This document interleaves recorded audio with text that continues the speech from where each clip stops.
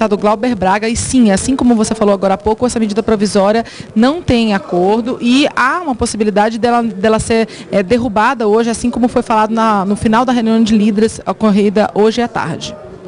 O PSL está discutindo alguma coisa, provavelmente ainda a matéria anterior.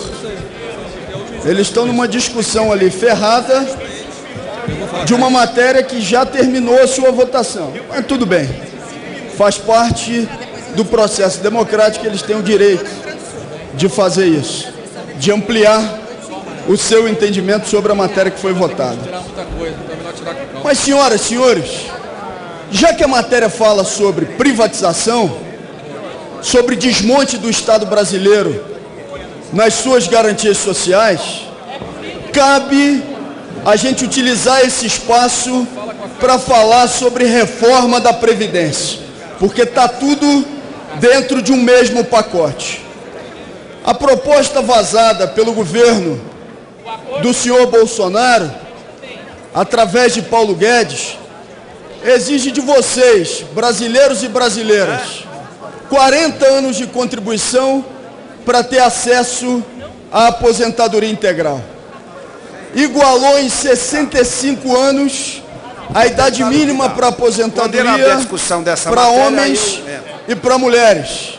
Eu peço ao senhor que está falando no microfone que respeite o orador que está na tribuna e depois, deputado, se inscreva e vá fazer o debate. Deputado Zé Guimarães, foi com você. Além disso, a proposta do senhor Paulo Guedes e do governo Bolsonaro altera o regime.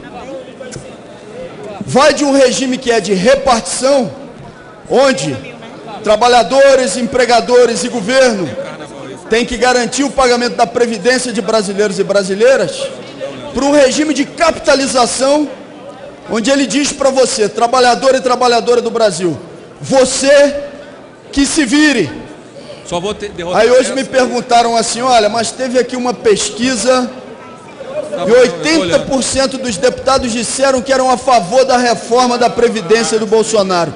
Eu pago para ver. Pago para ver.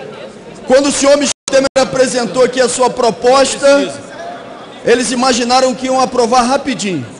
A gente está em 2019 e eles não tiveram votos suficientes para aprovar, porque houve pressão popular contra essa tentativa de fazer com que o povo não se aposente.